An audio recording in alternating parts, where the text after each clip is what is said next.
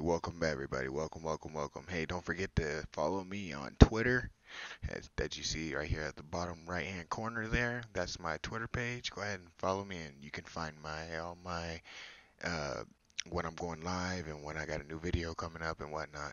But welcome. This is uh, Arma 3 Asylum. Uh, also, don't forget to hit that thumbs up. Yeah, yeah, there we go. And uh, yeah, it's Arma 3 Asylum, and we're going to be showing you guys how to do some meth today. So, uh, yeah, right now I'm stuck in jail, unfortunately. Uh, I didn't pay some car tickets, so, or some speeding tickets, so, yeah. But uh, we're going to head out of jail. Once we get out of jail, we're going to go ahead and collect a few things that you're going to see here. Uh, collect, um, we need, uh, you need a few essentials uh, that I didn't put on here. You need um, night vision goggles, a gun, backpack. Um, here is where I'm going to show you what you need. You need to collect, you need a house near this area because the ephedrine is the red circle there, and then the phosphorus is right next to it. And up here is the hydrogen sulfate right up there. So, yeah, um, you need uh, night vision goggles, a backpack, a gun for sure, um, a carry-all backpack would be preferred.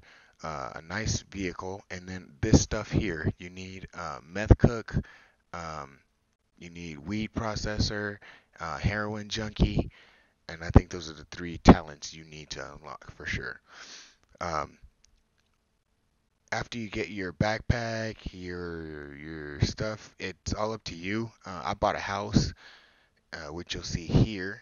Yeah, there you go. Um, I bought a house, and then I bought a storage and put my stuff in storage in my house. So that probably it's it's all just preference, depends up to you. Um, once you get that, you get your carry-all backpack, your night vision goggles, your binoculars, your gun, um, and get a vehicle. That's pretty much all you need. Then you can go out and start collecting your um, start collecting your your essential necessities like you would need uh, normally. So you go and collect the phosphorus, uh, the ephedrine, and uh, you need the hydrogen sulfate. So first off, we're gonna go collect the phosphorus. Um, you don't want to be staying in these situations for very long uh, because it's quite quite the deal. There's the map there and a few things. I did forget to carry out backpack and the uh, vehicle and whatnot. But you don't want to be sitting in this situation for very long, and you definitely don't want to have a handgun rook. You want to have something different, and I eventually do go get me a uh, a Scar. So yeah, you want to get in, get collect your phosphorus or your ephedrine or hydrogen sulfate, whatever it is, and get out. Because there's a lot of people doing the same thing you're doing. This makes really good money, but you got to keep your ears open, keep a lookout for everything. You got to turn all your sounds off, and even the birds chirping and stuff, so you can hear footsteps and hear everything. Because this is a dangerous, this is a dangerous thing to be doing here, especially when you're collecting all the stuff for yourself. You can collect all this stuff and still make a good ten thousand dollars off of, you know, a few. Uh, the point here is uh, off of off of uh 15 i believe they sell for like 2400 or 2450 a piece. I believe um i don't quote me it just depends on how many people are on and how many people are doing what at the time are selling. So um yeah you go ahead you get that you get all this stuff done and then uh you get collect all your ingredients and then once you collect all your ingredients you drop them in there. And if you have an rv uh, you can cook up crank in your rv or you can go down to the meth processor. I personally don't go to the meth processor because i can cook up my meth and crank on my own because i do have an rv so you guys will see that here in a few. Um, I have an RV, so I go ahead and I put all my essential you know, phosphorus, ephedrine, and hydrogen sulfate in the RV, and I take the RV up to a non-disclosed area, and I cook my crank up that way, and that sells for about 25.50 a piece, so about a hundred more than what the mess sells for. They sell for the same, one of the two. So yeah, I had to come back over here to get some more because I was missing a few.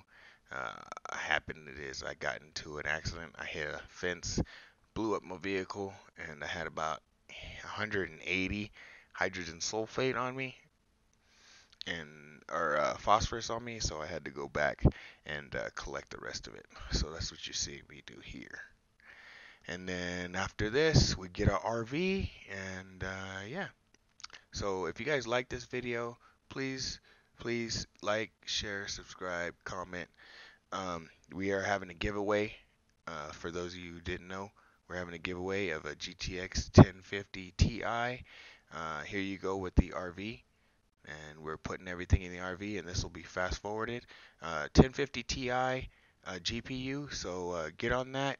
Um, it just link and everything will be in the description. So appreciate you guys all for watching. Thank you so much, and uh, enjoy.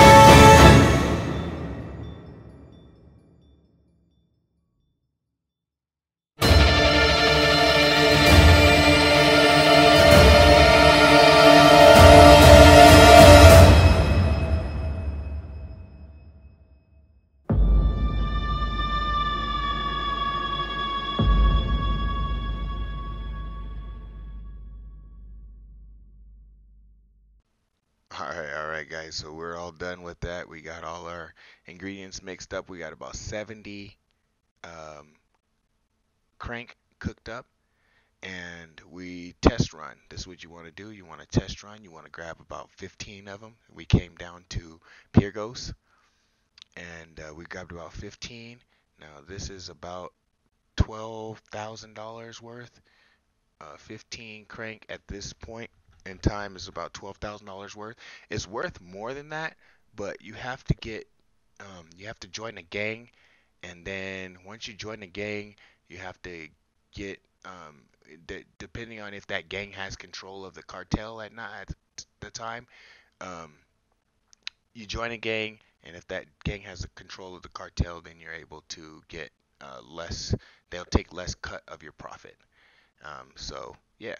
So I hope you guys enjoyed. Appreciate it. Leave a like, share, subscribe, comment. Um, again, the uh, how to win will be in the description. Appreciate you guys. Thank you so much. Have a great weekend.